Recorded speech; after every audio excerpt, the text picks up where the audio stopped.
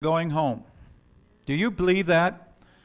I'm going to say it then. We are one day closer to going to home. How many believe that? Would you give the Lord a good amen? Amen, yeah.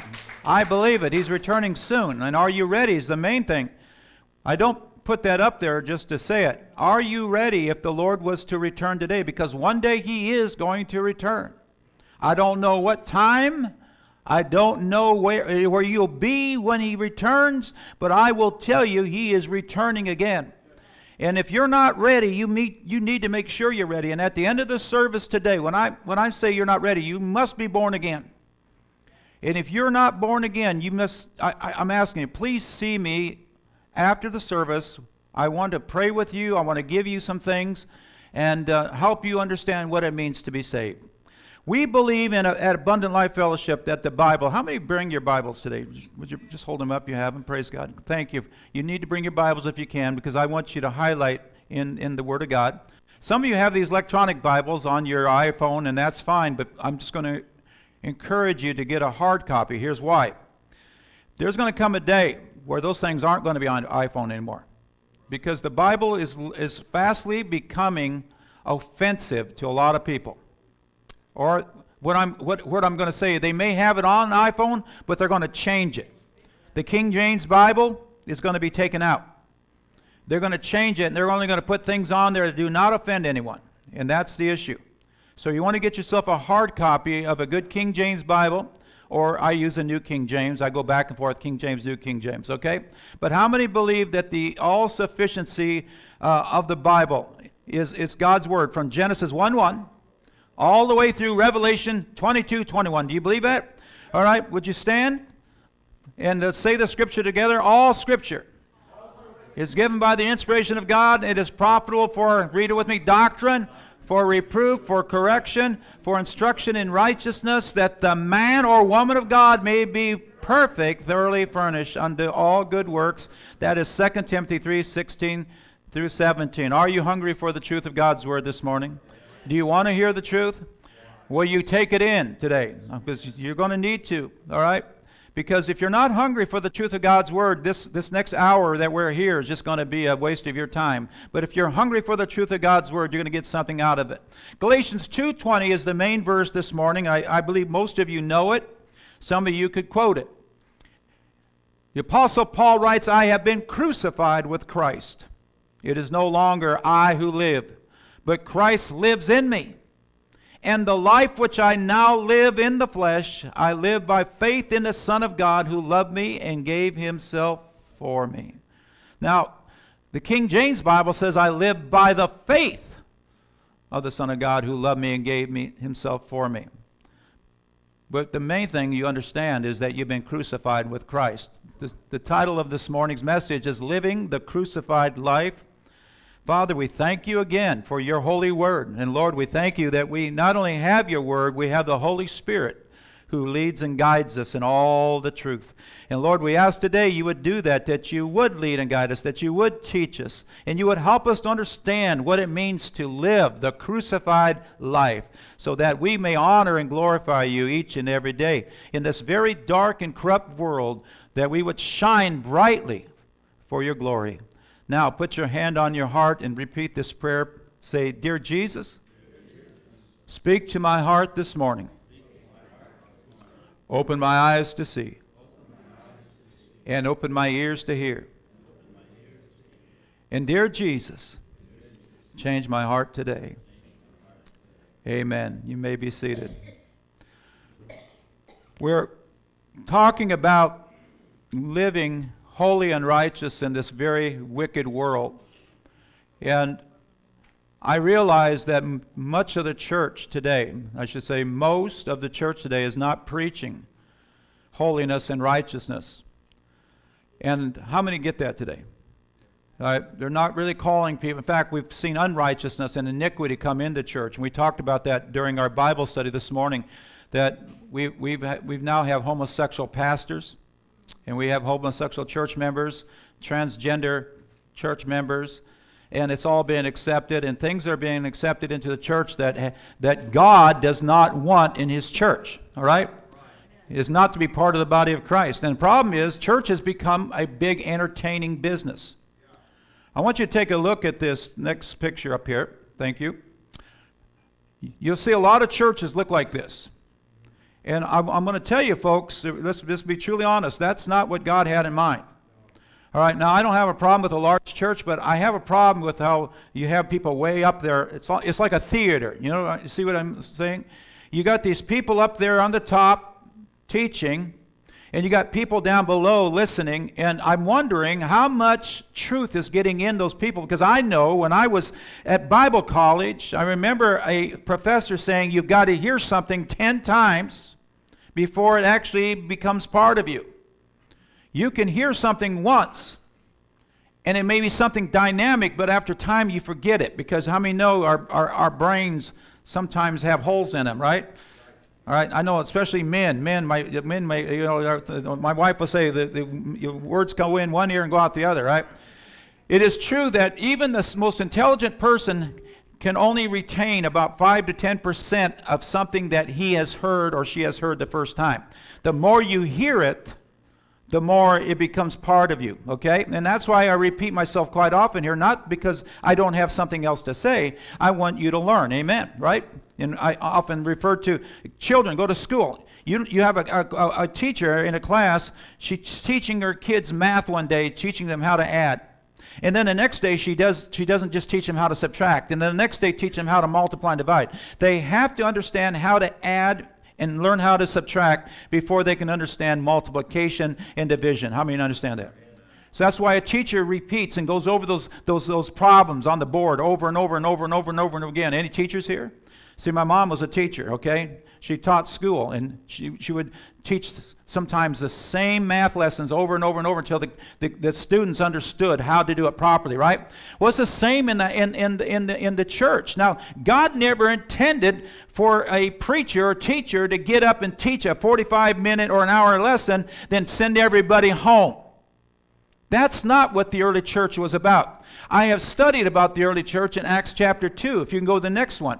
The Word of God says in Acts chapter 2, verse 42, when you talk about the church, this is on the day of, right after the day of Pentecost, when the church was birthed in Jerusalem, you will have the church meeting together. And the Word of God says, and they continued steadfastly. That means they got together and the word steadfastly means they decisively dedicated themselves to the apostles' doctrine. That means the teachings of the apostle, the teachings that the disciples of Jesus got from him, and they passed it on to the congregation.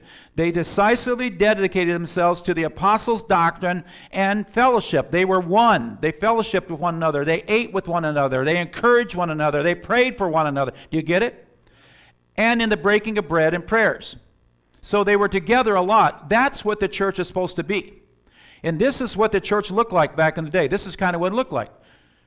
They were there together, and the, the, the apostles would teach until someone was, uh, you know, someone became more knowledgeable of God's word and felt the calling, then became a pastor. Then they would spread out and start a new congregation and that was spread out and started a new congregation. But they were in a room together like this, and they weren't there for 45 minutes or an hour. They were there mostly all day long. And they would study God's word and they would ask questions. Now, you know as well as I do, these big churches, nobody can stand up and ask a question. It's almost like these pastors are untouchable. I've been around some of these pastors, they walk around thinking they're, they got bodyguards on both sides. That to me is just crazy. But the fact is, the early apostles, when they taught God's word, they answered questions, okay? They answered the questions that the people had. Now look at this next verse, Acts 2 46 through 47. And they continuing daily with one accord in the temple and breaking bread from house to house. So they went from house to house. They met together, did eat their meat with gladness and sing, uh, uh, uh, with gladness and singleness of heart, praising God and having favor with all people having favor with all people. You know why I believe they were having favor with all people?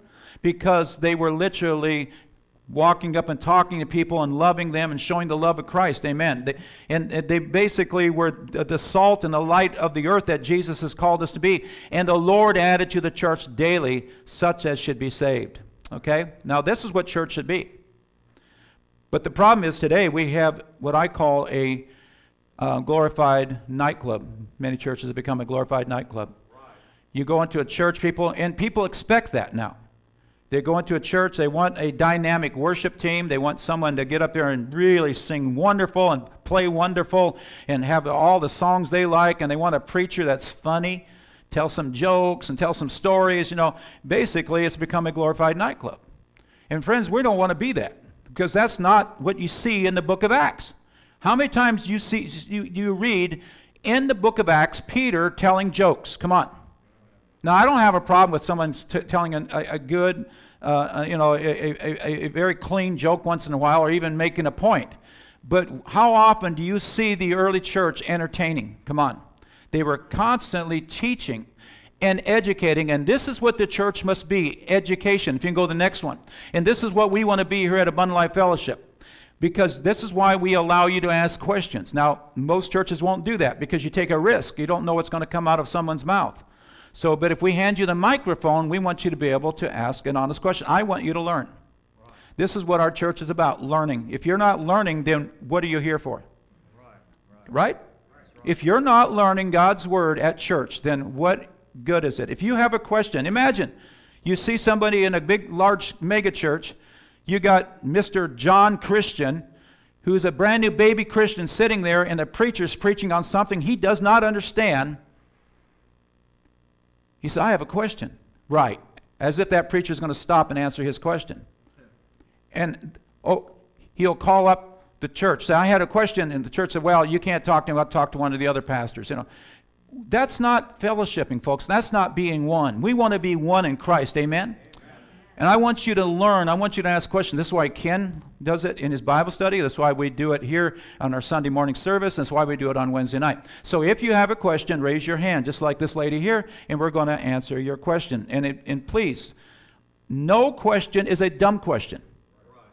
No question is a dumb question.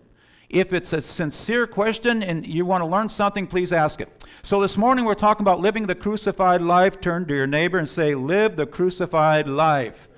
Amen. Now, before we go into the main message this morning, as always, we do something called reviewing. I review a lot because I want you to learn. Now, some of you have, you weren't here last few Sundays, and, and I'll try to catch you up with what we have already talked about. Some of you have been here every Sunday, and you know what I'm talking about. But I want to talk about what we have learned over the past few Sundays. Now, we've been talking about biblical salvation. In the handout that I gave you, I, I told you there are two things that we were, we were doing here. And number one, um, make sure I got this right. Number one, I wanted you to understand what true biblical salvation is. Okay? You understand that? And all right, how many have your handouts? All right.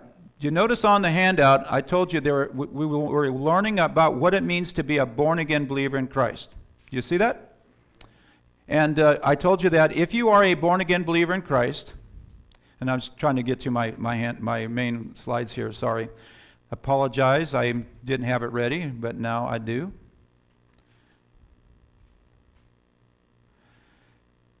Okay, we have been learning about what it means to be born again. Now, I told you that if you are born again, you have been born from above. That's what it means. John 3 3. You're born from above. That means you're going to have a transformed life.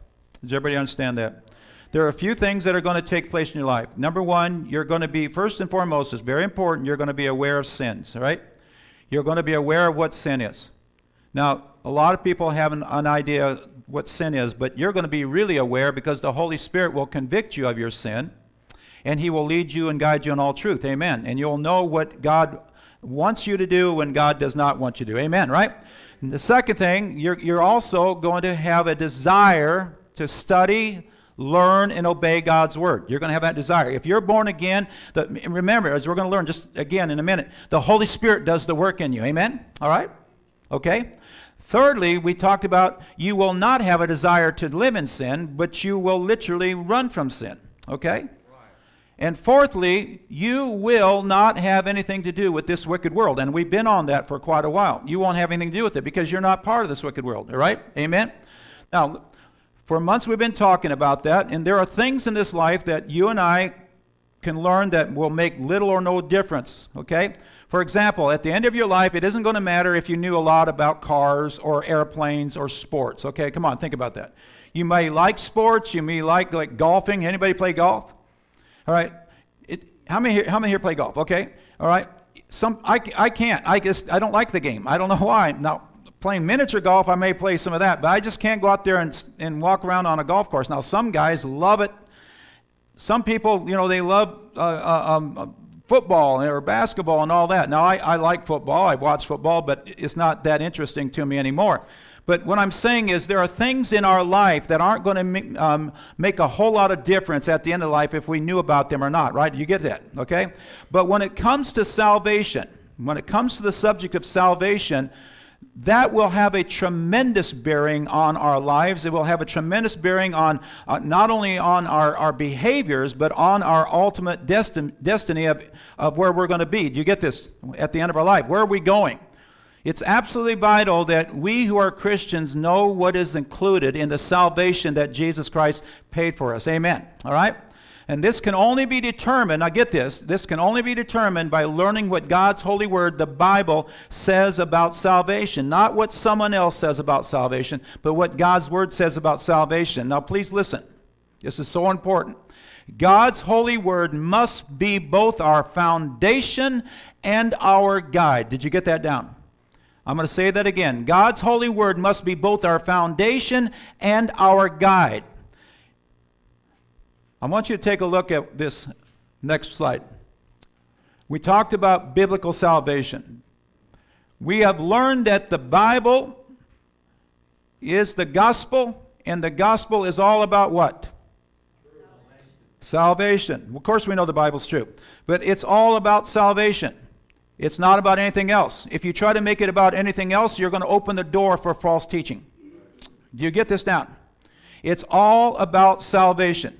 I've had people say, well, you know, the, the shallow end of the pool, as we have this picture of the pool up there, that's salvation. And then you go on and on. No, it's all about salvation from start to finish. You see, the reason why there's so many lies and deceptions that come into the church is because we're looking for something that has nothing to do with your salvation. All right? For example, you go back in the book. Why did God inspire there to be all these books to be written? 66 books. Why are what they're about? They all point to who? Tell me. Who do they point to? Jesus. What did Jesus come for? Tell me. What? Salvation. Luke 19 10. Jesus said, I have come to seek and to save what? The lost. Okay, I've come to seek and to save the lost. Then Jesus said in John 10 10, He says, I have come that you also may have life and have it more abundantly.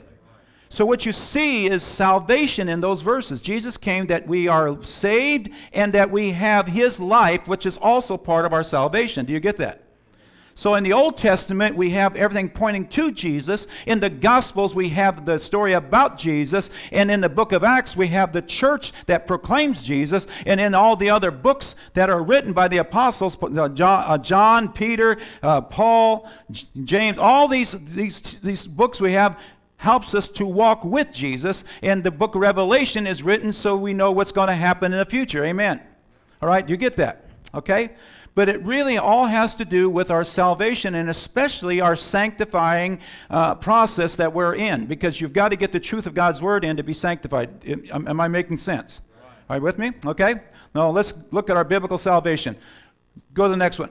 All right, so here we go. We got the swimming pool. Next one, please. So you got the shallow end of the pool. This is when you are saved, which is justification by faith. We already studied that, right?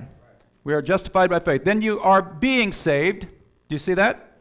All right? And then you are saved. There's, this is what the, God, the, the, the God's word teaches us. We are saved by justification by faith.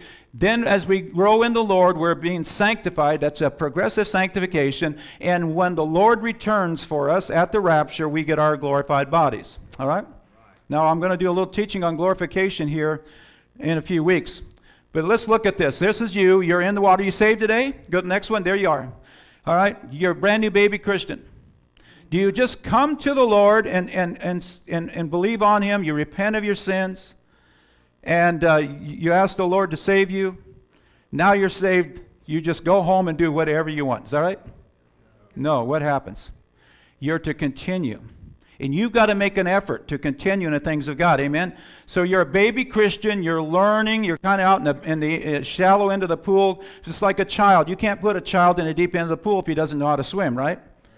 All right? How many have ever been in those big public pools and you got the shallow end for the kids, you got the deep end for the more uh, experienced swimmers? Well, this is you. You're a baby Christian, and you little by little, you're saved but you're also being saved. And that's the thing you have to understand. You're being saved right now. What's that mean? Well, you're saved the moment you come to know Christ. That means you're saved from the penalty of sin. Now, as you go through life, as you get God's word in you, and as God's word's being taught to you by the Holy Spirit who indwells the believer, you are now being free from the power of sin. So you don't live in sin anymore. All right, you get that? And eventually, you're going to be saved from the presence of sin when you get your glorified bodies. You will never, ever even be, sin will never affect you ever again. Do you understand this? All right, any questions? Here's your time. Any questions? Okay, so here you are, you're growing. You're going along, you're getting a little older in Christ, you're getting more mature, you're seeing the fruit of the Holy Spirit grow in you, and then eventually a little bit more. Go to the next one. You're a little further out, you're getting more into the deeper things of God, you're understanding the Word of God more and more because the Holy Spirit's teaching you. You have a more hunger for the truth of God's Word, and eventually one day you reach the end of your life, and then you're going to get your glorified bodies at the rapture. Does everybody see that? All right, I hope I made some sense. All right. I hope you like my illustration there, okay? All right. All right, now, but what about those who do not believe the truth? Go to the next one. What about the many false gospels? And we talk about it here quite often. What if you don't put your faith in Jesus, who is God in the flesh? You have false gospels. There is no justification because God will not honor someone's believing in a different Jesus. For instance, if you believe the Jesus of the Jehovah Witnesses, who is the Archangel Michael, you'll never be justified. Right? If you believe in the Jesus of Mormons, who is the brother of Satan, you will never be born again. You'll never be justified. If you believe the Jesus of some of these charismatics, like Bill Johnson, who teaches that Jesus was a man when he walked this earth, only a man, that is not the Jesus that'll save you. Okay? Jesus has always been God. He never stopped being God. How many get that? You must know that Jesus is God. All right, he is fully God and fully man. So, what happens to those who do not put their faith in the right Jesus or listen to a false gospel? Well, look what happens to them. All right, they're going to eventually sink. They're going to they're going to perish. They're going to perish. Do you see that? So we want to make sure we understand the true gospel. The true gospel is all about salvation. It's about justification. It's about sanctification, and eventually it's about glorification. If you can go to the next one, please. All right? So turn to your neighbor and say, Beware of false gospels. And why? Why? Before I put the next slide up there, why must we beware of false gospels?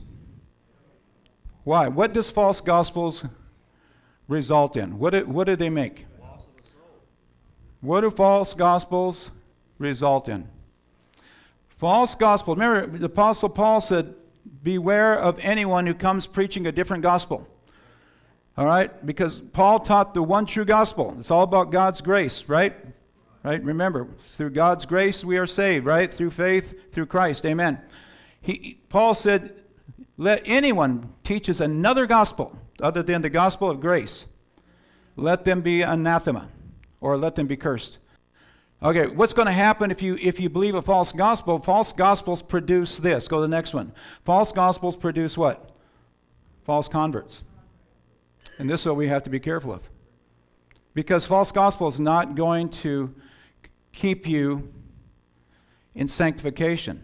If you don't have the right Jesus, if you don't if you're not justified and the Holy Spirit doesn't indwell you, you're not going to grow in the Lord. You're just going to stay in your fleshly attitudes. And that's why a lot of these people that claim to be Christians are running after the false gospels that appeal to their flesh. Do you see that? Appeals to their flesh. Amen? Go to the next one. I like what Steve Lawson said.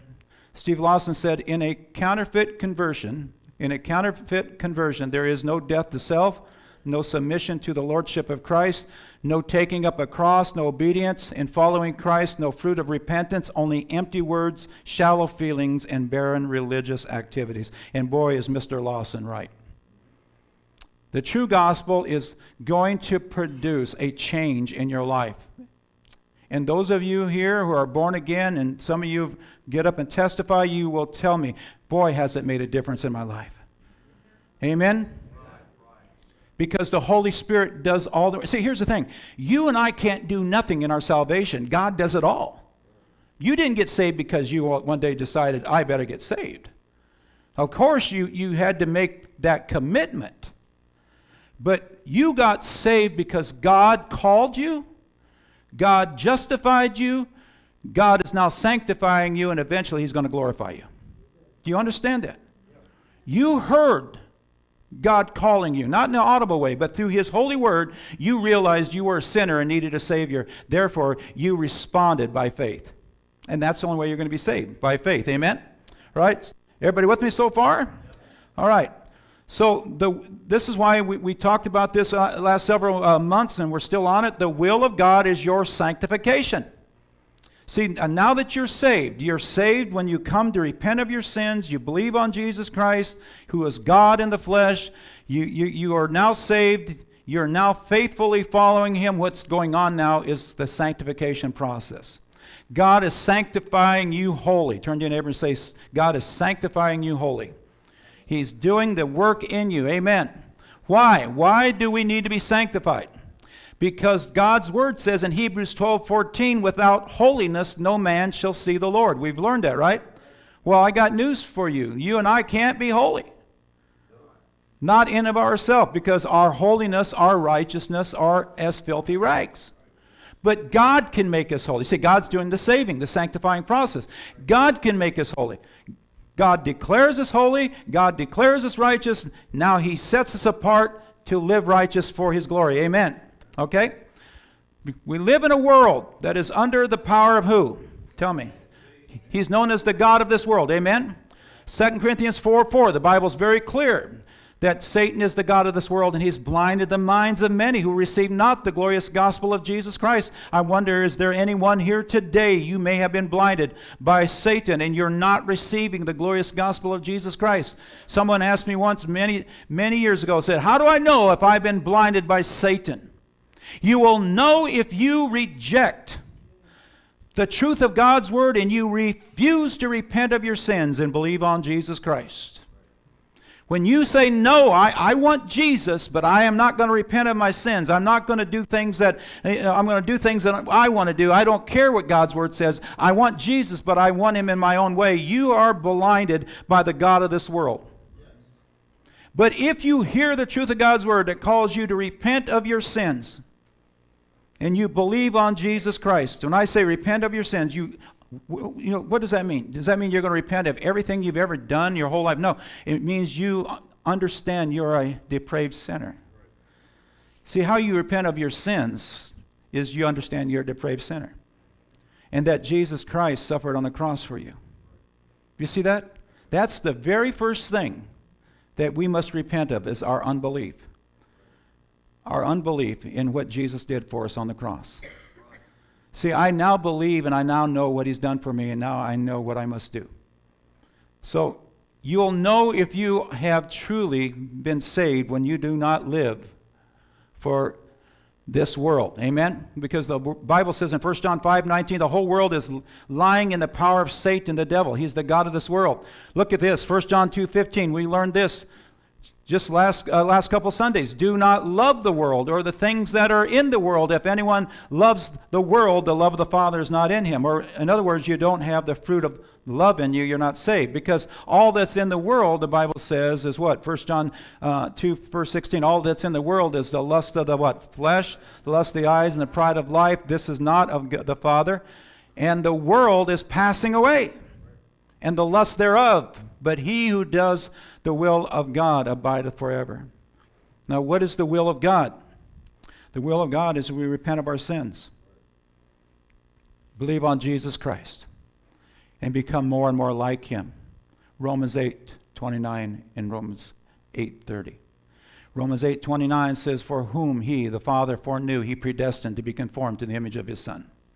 God wants you and I to be more and more like Jesus. And you can't be more and more like Jesus on your own. Only Christ can do that in you. Amen. That's why we must abide in him. Praise the Lord. Are you getting it? All right?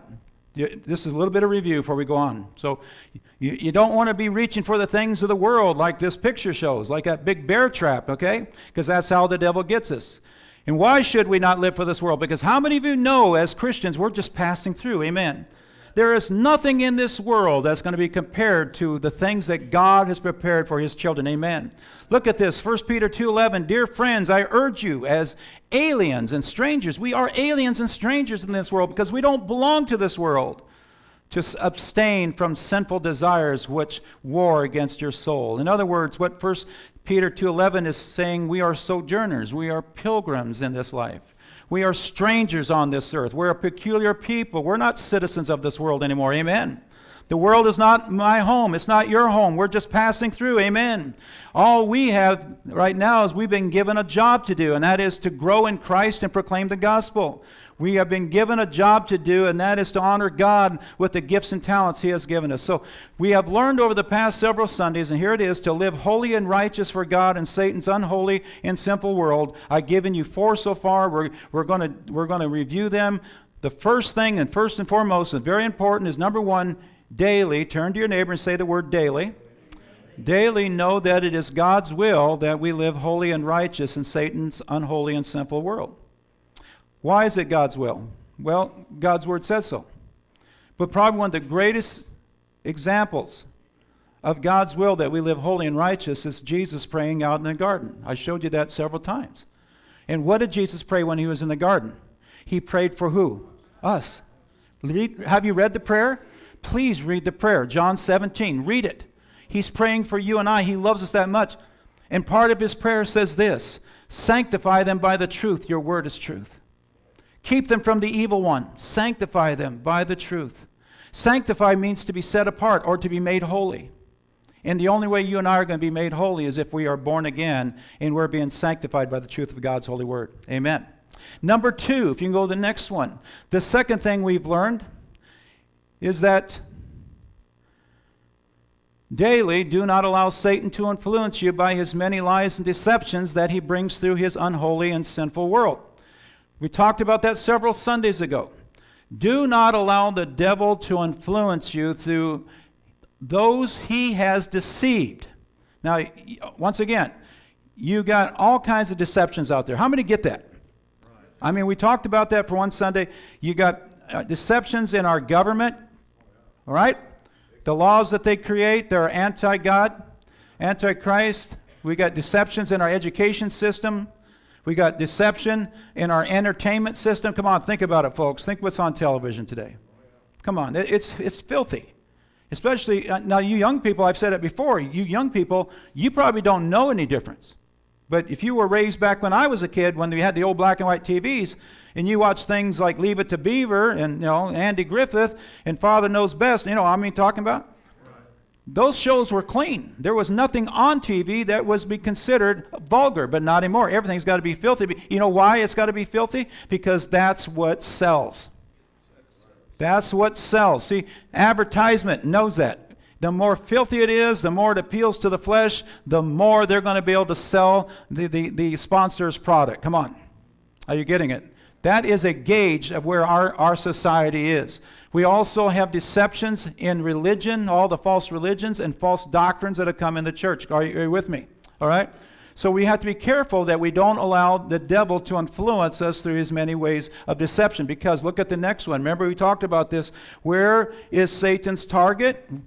Our mind. He gets to us through the mind. How does he get to us? Through his lies. And it doesn't matter who he's lying through. He can be lying through our government. He can be lying through an educator. He can be lying through an entertainer. He could be lying through a pastor. A false pastor, a false preacher, a teacher could be lying to you. That's why I told you, don't you believe what I'm telling you. You look at the scriptures and you look it up for yourself. Amen? Our only defense is God's word. Someone give me an amen, please. Amen. Number three, daily. Turn to your neighbor and say daily.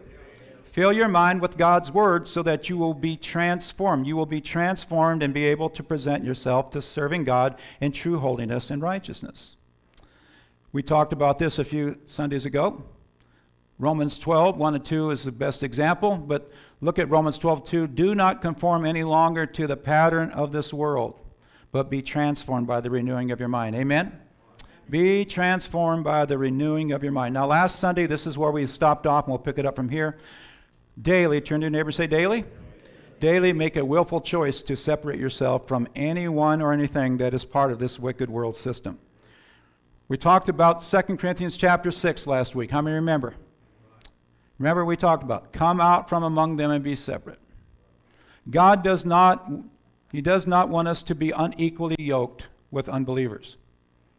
Now, once again, I'm not saying that we are to just, you know, be totally separated and not talk to anybody that's not saved. You, you still have to witness to them, right? We still have responsibility to witness to the unsaved. It just means we're not going to go along with their way of doing things, right? Does everybody get that? Same with your family. I, I told you last week if you are saved and you are living for Christ, you're going to have unsaved family that's not going to like you. And I know that to be true. But that doesn't mean you treat your family like dirt. You still love them and you still witness to them, right? All right, does everybody get that? Okay, now that's all review. In the next half hour or so, we're going to take it up from here. Any questions on what we just reviewed? Does everybody understand it? All right. How many realize God wants us to live holy and righteous? All right? All right. All right, here we go. We're going to pick it up from here. And this is the last one. This is the last point. Now, I want you to know that Watchman Nee said this, and this is very important. Separation to God, separation from the world is the first principle of Christian living. That's one of the first things that we do. And that's why, in order to do that, we must do those four things that I just, those four points I just talked about. Now, this morning, go next one, we're going to talk about living the crucified life because this is where it all leads to. You know Christ wants you to live holy. He, he prayed that we would. You know that we are to, to not allow the world to influence us, right? You don't, you're, gonna hang, you're not going to listen to lies. You, you know that we are to get the Word of God in us. You're going to be studying Words of God, replace our old way of thinking with God's Word. You know that we are to separate ourselves from the world. Now, what are we to do with all that? We have those four things. Now we are to walk in the Spirit, living what we call the crucified life. Now that sounds a, a little like, uh, what do you mean, crucified life? The Bible tells us we are to. Let's look at that. Go to the next one. Are you ready? to live holy and righteous for God in Satan's unholy and sinful world. Everybody say daily. Daily live the crucified life by knowing and seeing yourself as being dead to sin and alive to live for Christ as you live in this wicked world. You've got to see yourself as being totally dead to sin. You almost got, you almost got to see yourself as you're with Christ now. Because in God's eyes, He sees the finished product. He knows what you're going to become. You get that? Right? He's not guessing. He's not guessing if, if you are going to make it or not. He knows you are because the good work that He has started in you, He will complete. Amen? Do you get that? He knows what the finished product's going to look like. So you've got to understand, I know that God, Christ is going to finish his work in me. All right? That's why the Bible says we are to fix our eyes. Romans 12, 2, fix our eyes upon Jesus, the author in the what? finisher, or that means perfecter of our faith. He's going to perfect us. Praise the Lord. Amen. All right, let's look at our verse we started with, okay? Well, let's look at this one first. Luke 9 23. This is a, a passage I want to throw in for free. Jesus said, and he said to them all. Now, in this situation, you had a lot of people coming to Jesus. They wanted things from him. Jesus got a little upset because everywhere he went, people crowded around. They wanted either to receive a blessing or to watch a miracle. Jesus was the greatest show on earth during that time. People didn't come to follow him. They didn't want to learn from him. They wanted to see him do something. So he turned and said to them, If any man, anyone, come after me, that means if you're going to follow after me, what are you coming to me for? Let him what? Deny himself and take up his cross daily and follow me. That is not an option, folks. If we are going to come to Jesus, we can't say, Jesus, just save me from my sins. Then when you do, I'm going to go and do what I please. No. You're, you're, you're not even going to get in the shallow end of the pool. Because, see, in order to get in the shallow end of the pool, you got to repent of your sins, right? And sins are not just the things that we do, sins are also things that we don't do, like serving the Lord. Like, you know, I can tell you there are things that Jesus told us that we are to do. And Jesus said, if you love me, you obey my commandments. One of the things Jesus told us to do, we are to love our neighbors. Come on. All right? Love our neighbors as ourselves, right? Right? That we are to what? We are to put ourselves last, put others first before us. Amen, right? See, and this is what I'm talking about. So Jesus said, if you're going to come to me for salvation, you better be willing to follow me as my disciple. All right, you get it that? Now let's look at that verse, Galatians 2:20. Notice what Paul writes. Everybody read it with me. I have been crucified with Christ. Notice it says been, not that I'm being crucified with Christ. Because Christ paid the price once and for all, right? Amen. And once you put your faith in him, as we're going to learn, you have been crucified with him because you're in union with him. You are part of him. I have been crucified with Christ. It is no longer I who live, but it's Christ who lives in me now. And the life which I now live in this flesh, this body, I live by faith in the Son of God who loved me and gave himself for me. Do you see that? Paul is saying, Now that I am saved, now that I am born again, the life that I now live, I live by faith in the Son of God. He loved me and gave himself for me. Can you say that today? Can you say that today? Well, if you're born again, you better believe you can say it. What, what makes you and I any different than the Apostle Paul? Come on. He's, he was just as much born again as you and I were. Come on. Right? Do you understand that today?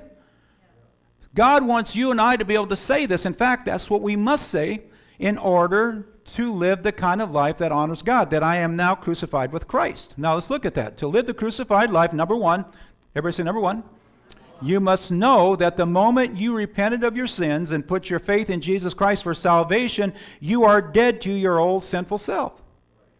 The moment you got saved, you are dead to your old sinful self. Therefore, so live like you're dead to sin. Do you see that? Live like you're dead to sin. You can do it because you have the power of the Holy Spirit in you. Praise the Lord. Amen. All right, does everybody get this? See, you, you, you, you, you, you, here's the thing. As a, a new Christian, the first thing you, you learn as a baby Christian, you may not have a clue what's in, uh, in, the, in the book of John or the book of Revelation, but there's one thing you do know. You know that God doesn't want you to go back into the world. Amen? You don't want to allow your old way of doing, your old way of thinking to, to cause you to go back into the world. That's one of the first things that I remember as a baby Christian. I said, I don't want to live like that anymore. I don't want to listen to the world's music. I don't want to watch the world's movies. I took in, out three or four big, huge boxes and, uh, of eight track tapes. How many remember eight tracks? That I had received through the Columbia House. Uh, uh, what they call it? The eight track club, or, you know, where you, you get so many every month. And, and I mean, I had them all. I had all these eight tracks of every kind of group Kiss, you know, um, Black Sabbath, you know, some of the big time rock groups. And I just threw them, Teresa, I was going to take them to the, like a, a, thrift store and give it to them. And Teresa said, no, you got to burn them. You got to burn them because they're, they're, they're evil. So we took them out to a dump, a little town that we lived in, and there was a fire burning in the dump, and we threw them down in and watched them burn. You know, the first thing that we do is we, we say it's time to separate myself from the world. That's one of the things God does. He separates us. He calls us out. He calls, he says, You're holy now, and you know he's calling you out to be holy. Amen, right? So let's let's look at that. Galatians 2:20. I have been crucified with who? Christ. All right, do you see that? I have been crucified with Christ. Now what does this mean? Well, let's look at Galatians 5:24. This is what it means. Galatians 5:24. And those who are what? Christ have crucified the flesh with its passions and desires. Do you notice the word have? It doesn't say will, and those who are Christ will crucify the flesh. It doesn't say they are to crucify the flesh. It says they what? Have, past tense. Okay, you have, because the moment you said yes to Jesus and you repented of your sins, you have crucified, okay, the flesh with its passions and desires. That means you have put, you, Jesus is now Savior, all right? Do you see that? Now, that doesn't mean that you're not going to fall back in and live according to your flesh. You're going to have a struggle there, right? Until we get our glorified bodies, there's going to be a struggle between the spirit and the flesh. How many know what I'm talking about? I mean, think about what Apostle Paul wrote. Remember? He said, The things I want to do, I don't do. The things I should do, I don't do. Oh, wretched man that I am, right? That's us. I still struggle in this body, and I will until I get my glorified body. But the fact is, I have been crucified with Christ, and that's the thing that gets. I can't do it, but God did it already. Therefore, I'm a brand new person. And I must see myself as a brand new person, and so should you if you're born again. Amen? Does everybody get this so far? Now, look at this. And those who are Christ, let's go back to Galatians chapter 5, verse 24. And those who are Christ, okay, there we go. Galatians chapter 5, verse 24. And those who are Christ have what? Crucified the flesh with its passions and desires. Do you see that? Those who are born again live a crucified life. Get that down. Right, you might want to write that down. Those who are born again live a crucified life. Although our flesh has been crucified, because God sees it as crucified. He sees us as dead. Our old man is dead and, and a new man has come. Why? Because we are born again. If you weren't born again, you'd still be your old person. But God sees us as born again, his child. So our old man has been crucified. Amen, right? Although there's still a battle in this life with our sinful flesh. Now let's look at Romans chapter 6. Look at this. This is why Paul writes Romans 6 What shall we say then? Shall we continue in sin that grace may abound? Here's the thing we are under God's grace. Praise God. Amen. How many are glad you have God's grace? That means God's unmerited favor is upon you. You can't earn it, you cannot merit it, you, you can't pay for it. God loves you that much that because of His grace, He went to the cross. He went to the cross and suffered for you. Isn't that wonderful? Now, that is something that you should have in mind all the time that we are not deserving. No matter, first of all, we are not to think highly of ourselves. The more you walk with Christ, the more humble you should become. Amen? I don't care how good looking you are, or how talented you are, or how rich or poor you are, it doesn't matter in God's eyes. None of us deserve God's grace. But because of his grace and mercy, Christ died for us. And that right there, friends, should do everything in your life. That should right there say, man, that's why I want to follow Christ.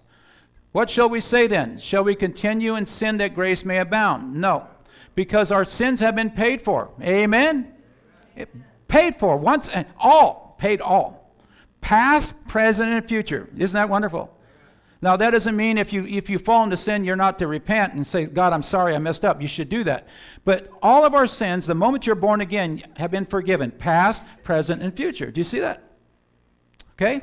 It's not like God one day is going to, oh, you're saved today, but if you really mess up, I'm going to scratch your name out of my book of life. No. If you're saved, you're sealed. Amen. Does everybody understand that? All right? You're sealed by the Holy Spirit.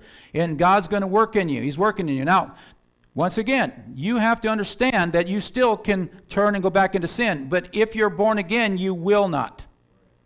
You will not. You may fall into sin, you won't live in sin. Praise the Lord. We've already talked about that. So let's look at this again. What shall we say then? Shall we continue in sin that grace may abound? What does Paul say? God forbid, or certainly not. Look what he says. How shall we who died to sin live in any longer in it? How shall we who died to sin live any longer in it? When did we die to sin? When you accepted Christ as your Savior. You've been crucified with Christ. Your old man died. That's what baptism represents, folks. Do you understand baptism? When you go in that water, you're not being washed of your sins. That's just basically an outward um, symbol of what Christ has already done inwardly.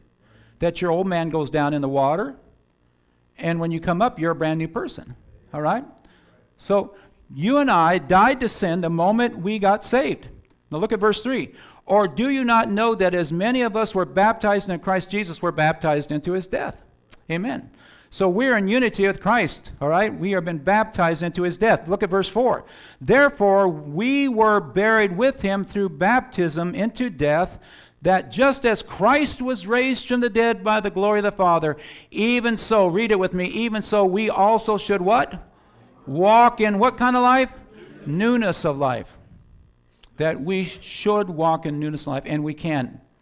Once again, it's not because of your power, it's because of the Holy Spirit power in you. Amen. And that's what's going to take place if you're born again. You're going to see a newness of life. The old man is going to be dying and keep dying, and a new man is going to keep growing in the fruit of the Spirit. You're going to see the characteristics of Christ growing in you through the nine fruit. Amen. Look at Romans 6, 11, and 12. Likewise, now look at this. Likewise, you, everybody say you, also reckon yourselves to be dead indeed to what? Sin. To sin, but alive to who? A God. Life to God in Christ Jesus our Lord. Amen. Isn't that wonderful? Now, the word reckon, I, I, I, guess Paul must have been a southern boy. He said, I reckon so. Um, the word reckon here is only used three times in all of the New Testament. Three times. And get this, it, it's the Greek word logizomai. It's the Greek word logizomai, and it means to conclude or to estimate yourself. It means to conclude yourself as dead, that I am dead to sin. It means to come to that conclusion. Amen or to fully estimate yourself as being dead to sin. Amen. Isn't that wonderful? Now look at verse 12. Therefore, do not let sin reign in your mortal body that you should be, obey its lusts. Well, come on. How, how can I do that? Because the Holy Spirit. See, when you got people questioning, I can't do that, I'm going to continue to sin, then I wonder if you're even saved. Because I don't have a desire to sin. I don't have a desire to live for the lust of this flesh. Now, I can fall into it. I can get angry and say things I shouldn't have said. Right? Come on. I can have a bad day and do things I shouldn't have done. But I'm not going to live in it. Amen. That's what he said. Do not what? Let sin reign. Reign means you're going to continue to allow it to reign in your life. Amen. You won't do it because you're born again. Amen. You're not going to obey its lust because you see, here, God sees us as justified, just as if we what? Never sin. God sees us as sinless. So we must see ourselves dead to sin and alive to Jesus so that we will not yield to sin, but instead completely yield ourselves to God. Amen. See, one thing the devil's going to do to you folks, and he does it to me, he's going to say, Oh, you, God can't truly love you. You're still a bad person. You're, you're still a person that's got problems you're probably not even saved. Come on. Devil will come at your mind like that. You say, God can't use somebody like you. And that's when you got to say, No, I am saved. And I am sanctified. And I'm not going to listen to lie because I see myself as forgiven. I see myself in Christ as I am dead to sin. Amen. Our position before God right now is we are dead to sin. Right? Amen. Now, conditionally, we are not.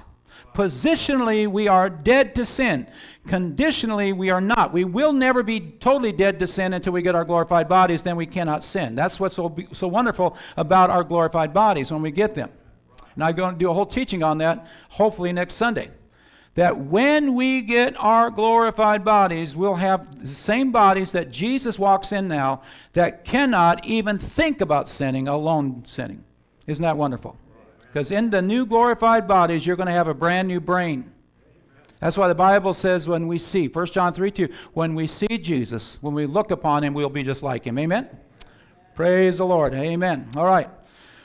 So we're still going to have the problem with sin. We're going to deal with it, just like Paul wrote about in Romans 7 14 through 21. Now look at this. J.C. Ryle said it this way The true Christian hates sin, flees from it, fights against it, considers it his greatest plague, resents the burden of its presence, mourns when he falls under its influence, and longs to be completely delivered from it. If you are born again, that's you. Amen. How many say that's me? Praise the Lord. Because look at 1 Corinthians 6. We've got to go quickly. 1 Corinthians 6, 9 and following.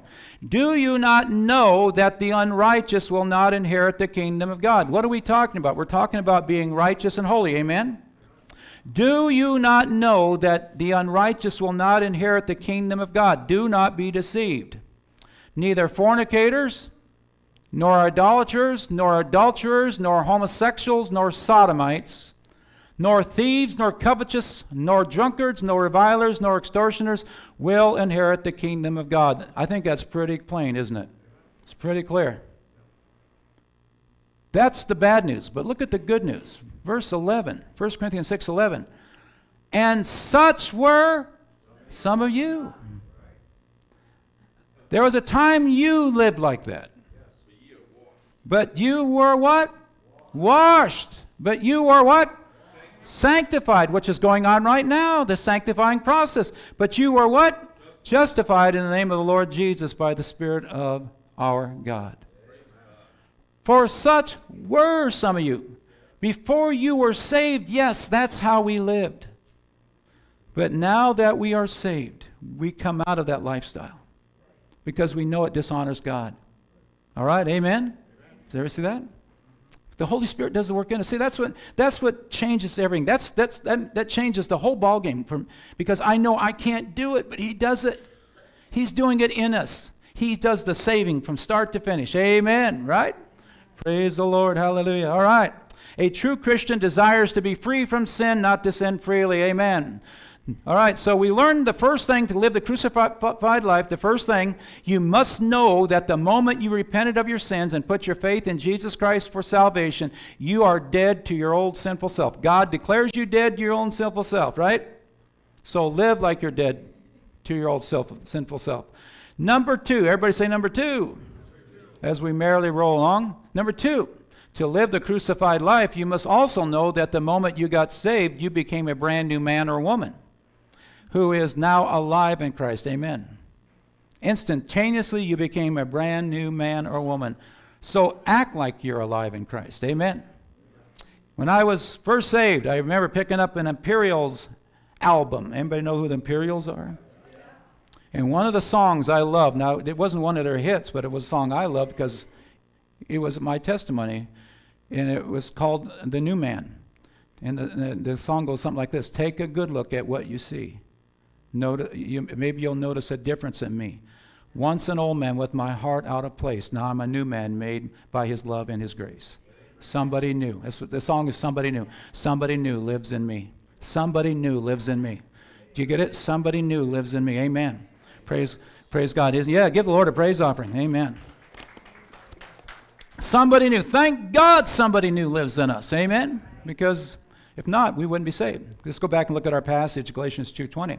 I have been crucified with Christ. Yes, we learned that. It is no longer I who live. We learned that. But, look at the next part. But Christ what?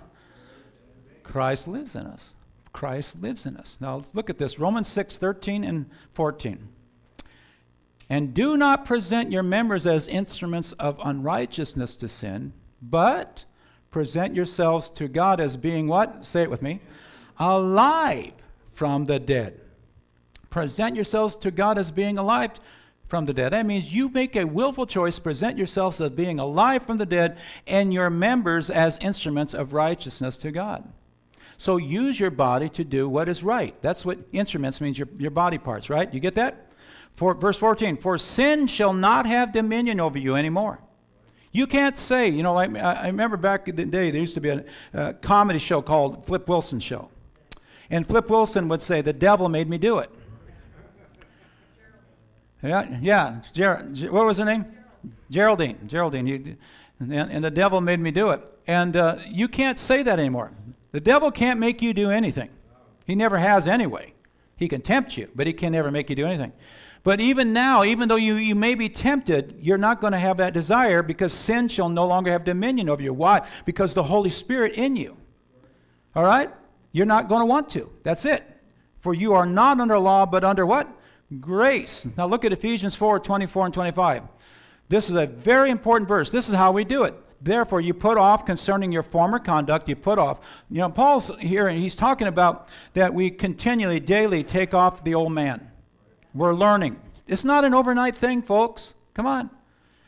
If I showed you my Christian life back in 1980, I was three years old in the Lord, I was still struggling, still had issues, problems, had, you know, backslide a few times. But you're learning, you're growing, and you're constantly taking off and putting on. You're constantly taking off. You're taking off the old man, putting on the new. And I'm talking about in conduct. Amen. See, God sees you as already complete. All right? The old man, put off the old man, the former conduct, the old man which grows corrupt according to the deceitful lusts. All right? You see that? Verse 23. And be renewed in the spirit of your mind. We talked about that a few Sundays ago, remember? that we are to be transformed by the renewing of our mind. So we're being renewed in the spirit of our mind. Our minds are being changed. Why? Because the Holy Spirit is teaching us, leading us, and guiding us in the truth of God's Word. And the more that truth gets in us, the more we put off the old man and we put on the new man. Does it make sense? All right? And that's what's so wonderful about God's Word. There's power in, in, God's Word. Amen. Those are the living Word of God. You're holding your hand. That's a living Word of God. That's a powerful. It's powerful. It's very powerful. And that you put on the what? new man, which was created according to God in true righteousness and holiness. There it is. See, God's already declared you and I true, righteous, and true holy. God's already declared you that. Now you and I are putting it on ourselves. We are becoming that. Amen. Amen? Amen. Finally, number three, to live the crucified life. Well, th- number two, um, let me rephrase number two. To live the crucified life, you must also know that the moment you got saved, you became a brand new man or woman who is now alive in Christ, right? You understand? You're a brand new person. Turn your neighbor and say, I'm a brand new man or a brand new woman. So act like it. Now, I apologize. Number three, then we'll take communion. Daily, yield yourself to the indwelling Holy Spirit by learning, knowing, and obeying God's word to live holy and righteous. All right. Daily. Yield yourself to the indwelling Holy Spirit or the indwelling power of the Holy Spirit by learning, knowing, and obeying God's word to live holy and righteous. Allow God to work his good pleasure in you. Allow God to work his good pleasure in you. Friend, hear me. If you are a born again believer, you're going to want to study God's word. You know why? Because the Holy Spirit gives you that desire. You, now, that doesn't mean you're going to be in it 24 7. I know sometimes you work and you got busy days and, and, and you come home, you're tired, but you're going to find time to study God's Word on your own, and you need to. Don't just hear God's Word on Sunday when you come to church. Get into God's Word and study it, especially the New Testament. Amen? And I always tell people, get in the book of John. The Gospel of John is a good place to start. And also, I, I also encourage you to study like uh, the book of Romans, you know, one of, the, one of the epistles. But study God's Word. Romans is a very good one. And meditate on God's Word and ask yourself every time you read a passage, say, is this relating to me? And if so, what do I need to do about it? Amen. Now, I'm going to do a, a series of messages. This is kind of a uh, a shameless plug for it, but I'm going to do a, a, series of messages very soon called The Fractured Fables that yeah, fractured, fractured fables that confuse and condemn Christians, things that we believe that are not in the Bible. So that's why we want to get in the Word of God and study it, and make sure that, that what is written there pertains to us, right? There are things in the Word of God that don't pertain to us, right? Amen? But we want to study things that do pertain to us. Praise the Lord. So we want to allow God to work in us. Now here it is. Everybody go to let's look at Galatians 2:20 again. I've been crucified with Christ. It is no longer I who live, but Christ lives in me. Amen. In the life which I now live in the flesh or in this body, I live by the faith of the Son of God who what? Loved me and gave himself for me. Now look at that. The life I now live, the daily life that I now live, I live by faith. Now, what is faith? What faith in what? Faith in what? Faith in the God's word, truth. I, I, uh, I put my trust in Jesus. See, it's not enough to believe in Jesus. Okay? A lot of people believe in Jesus aren't saved. You must believe Jesus. See the difference? Believing in him and believing him are two different things. Now you believe him. That's his word. Now you say, I want to hear and know and understand and obey his word. I believe him. And the Holy Spirit helps us do that because if we do, we'll live by faith faith in the truth of God's word, and we know that He loved us and gave Himself for us. Amen. So the born again believer in Christ fully understands and appreciates. How many of you fully understand and appreciate what Christ has done for you on the cross? Amen. That is the game changer. When I fully come to that place, understood that He suffered on the cross for me, I was not about to go back to the world and tell Christ to take a hike. A lot of people do. But I want, once I accepted him as my Savior, I want to serve him. Amen. How about you? This appreciation motivates us as believers to live a life of obedience. Amen. The false convert does not have this kind of obedience and appreciation. Why? Because they often look to Jesus to give me more, give me more, give me more. But the true convert says, Jesus, what can I do now? I want to serve you. Help me serve you more, serve you more, serve you more. Not get, get, get, but to serve, serve, serve. Do you get? Because Jesus has done everything by dying on the cross. Amen? And suffering for us. Praise the Lord. Now look at this Philippians 2. 12 and 13. This is a passage of scripture that's often taken out of context or not fully understood, but this bears the point. Therefore, my beloved, as you have always obeyed, not as in my presence only, but now much more in my absence, work out. Look what it says work out your own salvation with fear and trembling. Do you see that? Work out your salvation with fear and trembling. Now, is that saying we have to work for our salvation? Does it say we have to work for our salvation? All right, no. Why? You and I cannot work for our salvation. All right? We cannot. Not in a billion years can we work for our salvation. And that's not what Paul writes here anyway. He writes, work out your salvation with fear and trembling. Okay? We cannot work out something that is, uh, that is not all, that's not already in us. See, we already have salvation. We have the salvation in us. So we have to work the salvation that's in us out. Do you understand what that means? How many know what it means? Now understand this. This is very powerful. Boy, this is powerful. All right? What is happening in the born again believer is not that we believe. Like I said, we believe in Jesus, but we're believing him more and more. We're getting, the truth is growing more and more in us. It's growing and growing, and it's becoming, it's like you're, you're, all of a sudden your mind is opened up to the truths of God's Word. How many have it happen? What's going on? It's the Holy Spirit. Like Scripture will jump off a page and just like, wow, what's going on? It's the Holy Spirit. You're believing the Word of God. You're not just believing in a Jesus that died on the cross. Now you're believing Him and His Word. Amen. You everybody get that? All right. So this is what we what it means that means we take, we take him at his word and act accordingly. All right? We take him at his word and act according to his admonitions and promises. Now look at this. This means that the truth that you and I have in God's word, we're getting from God's word because the Holy Spirit is teaching us, right? What the Holy Spirit teaches us, we are to put to practice. Work out means put to practice that which we know is true. Amen. Right? You and I, as believers, are to work at being obedient to God's word. It is work. Come on right? We make a decisive decision to obey God's word. This is the pursuit of a lifestyle of obedience has everything to do with sanctification. Come on. God gives us the truth. God is sanctifying us. He wants us to act upon that. All right? How many get that today? We're pursuing a lifestyle of sanctification. In other words, we do what God's word says we are to do because we love him, right? That's why the last part says, right? That we love him, right? We work out Look at this. And we do this out of a healthy fear. We, we do it because we have a healthy fear for God. For it is God who works in you both to will and do his good pleasure. Do you see that? For it's God who works in you both to will and do his good pleasure. Now, although you and I, as born again Christians, are responsible to yield ourselves to study, learn, and obey God's word, it is actually the Lord who produces the good works in us. Boy, get that down. All right?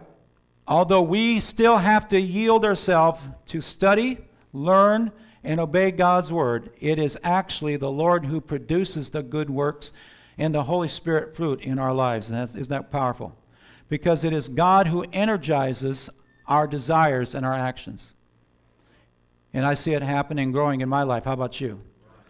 God energizes our desires. It's like, you know, you, get a, a, a, little toy and you put batteries and turn it on. Boy, it goes. That's what God is doing through the Holy Spirit. He's energizing our desires. And you get have more and more of a desire to serve the Lord. Now, how many of you here today can give a testimony to that? That's me. Come on, think about it. You have a greater desire to serve the Lord. What's going on? God is literally putting that in you, and because you have that desire, you're working out your salvation. If you go back to the last one, go back. If you go back, please. If you work out, you're working out your salvation, right? You're working out your salvation out of what? Fear and trembling. Now, that's something that is missing in the church. There's not a lot of respect. Fear doesn't mean you're scared to death of God. It just means you reverence, reverence Him. You, you, you, you give Him the respect He deserves. Amen, right? You're working out your salvation. And trembling literally means that you know that He has the power to throw you into hell if He wanted to, right? But He won't because you're His child. Amen, all right? Amen. Therefore, look at this 2 Corinthians 5 17. Therefore, if anyone is in Christ, he is a new creation. All things have passed away. Behold, all things have become new. There it is. There's your life. Are you a born again believer? If so, if you are in Christ, right? You're in Christ, you're joined with Him, you're abiding in Him. John chapter uh, 15 so clearly teaches that if we abide in Christ, then His Word abides in us, right? We're going to produce fruit. Therefore, if anyone is in Christ, you are a new creation. Are you a new creation? This is very important, folks. Are you a new creation? Do you see some change going on in your life? I want you to do this now. I want you to ask yourself this question When did I first come to believe in Christ, repent of my sins, and ask Christ to be my Savior? I want you to think about that date right now. I want you to think about that date right now. Now, since that time, can you see how you have grown and you see that you have become a new creation? Can you see it? That's because the Holy Spirit's doing it. Now, for some people, it happens quicker because, once again, you still have to yield yourself to obeying God's Word. Amen? You still have to study God's Word. And you can get lazy. Just because we're a brand new creation doesn't mean we're going to you still have to yield and do what God wants. Amen? Right? Amen? All right, any questions? Any questions? Yep, if you go to the last one, please. Yes, sir. This is very important to understand this. Once again, we want to live the, the life that. Uh, please, there's your question. Is your mic. Uh, can we can we look at Hebrews 12 2 real quick? Hebrews 12 2. One, All right, let's look at Hebrews 12 2. Wanna, this is how, actually, Paul's giving us a word of encouragement how we can do this as well. But it's very important. I'll wait till everybody's turn there. All right, Hebrews 12. Everybody at Hebrews 12? 12 All right, 12 2. All right, go ahead. Actually, begin with verse 1. Wherefore, seeing we also are compassed about with so great a cloud of witnesses, let us lay aside every weight and the sin which doth, doth easily beset us.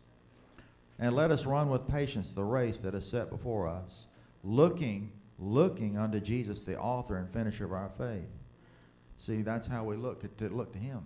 Yeah. What He's done. Right. It says here, who for the joy that was set before Him endured the cross, despising the shame, and is set down at the right hand of God at the throne of God. For consider him who endured such contradiction of sinners against himself, lest ye be wearied and faint in your minds. Right.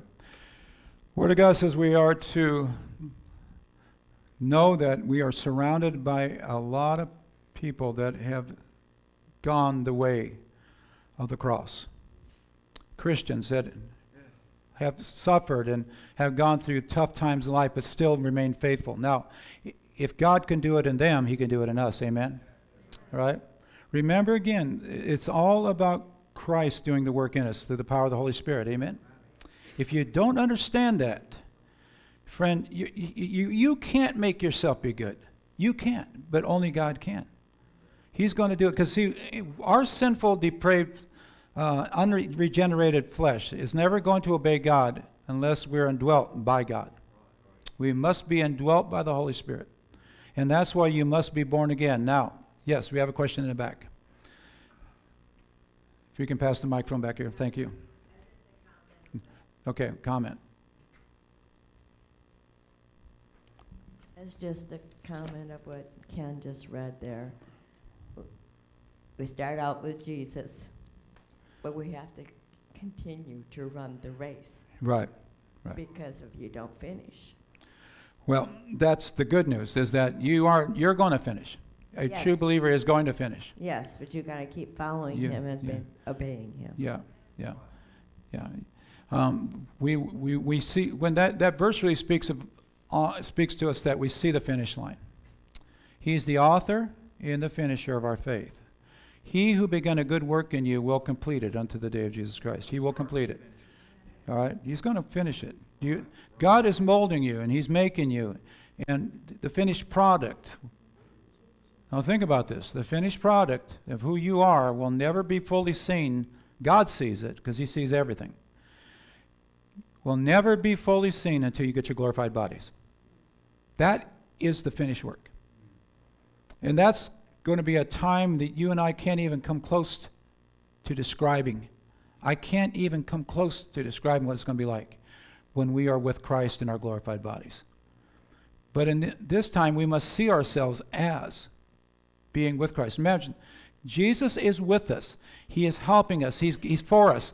So therefore, don't allow anything in this life to deter you away from Him. Amen?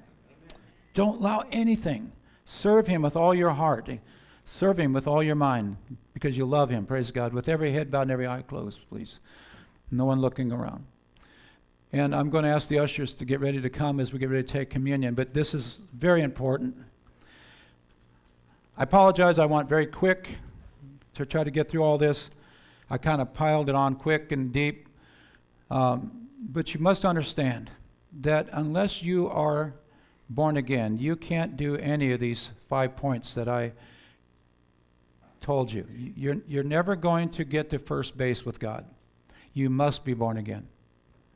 And all that means to be born again is you're born from above. By the power of the Holy Spirit, you are born into the family of God. Because when you and I were born into this life, we were born into the family of sin, Adam's sin. But because of Jesus Christ and what he did on the cross, you and I have the opportunity to be born into God's family. That's what it means to be born again. And the only way you can be born again, my friend, you can't earn it. I've said that many times. You cannot go to church enough. You cannot pray enough. You cannot give enough. You must put your faith in the finished work of what Jesus Christ did on the cross for your sins. Please hear me. As we're about to take communion, we're talking about the cross. You must put your faith in what Christ did on the cross. What did he do? He suffered and took the penalty for your sins. He took God's penalty. God literally poured out his wrath on Jesus, who was totally sinless. The guilty party is you and I. We should have been the ones punished. But Christ took our punishment. Why? Because he loves us. Now, what are you going to do with that love right now? This love that's being offered. You can just say, No, I don't want it because I'm not about to repent of my sins. I want to live in my sins. That means you are rejecting the only hope you will have for eternal salvation. And if you do that, you will hate yourself through all eternity. Please, no one looking around. Please, this is so important. If you reject this great gift, you will go through eternity hating yourself because Jesus is the only way. But if you would but today see your sinfulness, and that God cannot and will not allow anyone into his heaven who is an unforgiven sinner, and you would be sorry for your sin, know that you have grieved a thrice holy God and ask Him to forgive you from your heart. Because if it's real repentance, God will honor that. And He will then indwell you by the power of the Holy Spirit and help you from this day forth. But if you're just doing it to get a free ticket to heaven, God's not going to honor that. He knows your heart, He knows if you're sincere or not. Do you want Jesus or not? That's the question. If you are not born again and you have not given your heart to Jesus, I ask that you refrain from taking Holy Communion today and see Ken and I after the service, and we will pray with you. We'll give you some materials, and we will help you to understand what you must do next to be born again. Amen? Okay? Does everybody understand that? All right, you must be born again. With that, I'm going to ask the ushers to come.